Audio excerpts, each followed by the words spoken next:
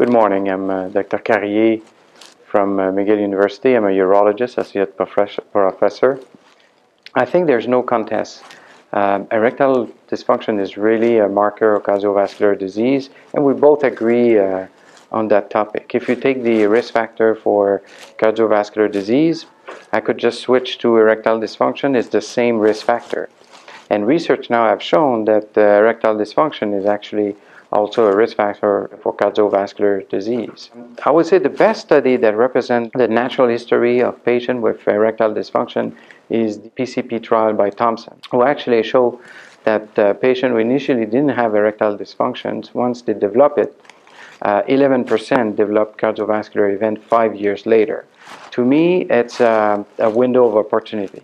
If you take all the patient, 100% of erectile dysfunction patient, and you do a stress test, the cost on healthcare will be uh, disastrous, where you have only 11% at five years. But it gives you time to talk to your patient and see if you can change some lifestyle, especially obesity, smoking, alcohol, and try to better control their uh, diabetes. And I think in this regard, um, I see the measurement of lipids or glucose not as a screening tool, but really as a diagnostic tool. Because they actually induce, uh, on the long term, if your diabetes or lipids is not well controlled, uh, that will induce erectile dysfunction. And later on, probably in about 40%, uh, some cardiovascular event. There's no doubt that uh, for urologists, it's an opportunity when you see a patient with erectile dysfunction to be a men's health advocate, to actually take the lead and make them change their bad behavior.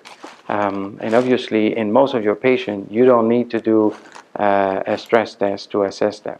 If you have a patient who had heart disease, then you go with the Princeton guideline, which says that patient who had a heart uh, disease condition, if they're at high risk or intermediate risk, they need to be reassessed by their cardiologist.